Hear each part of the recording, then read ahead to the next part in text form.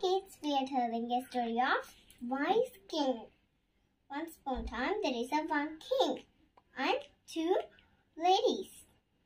There's one baby, and first two women are shouting, "This is my baby! This is my baby! This is my baby! This is my baby!"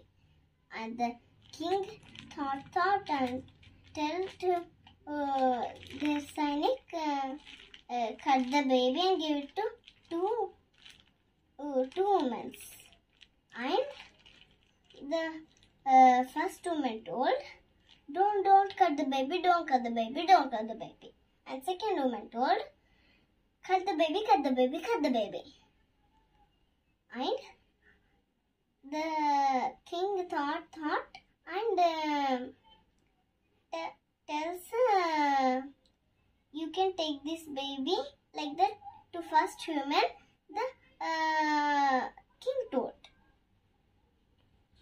then how he, he how he decided like that? Because the mom cannot see children in trouble. Bye friends. Tomorrow we'll tell a nice story to you.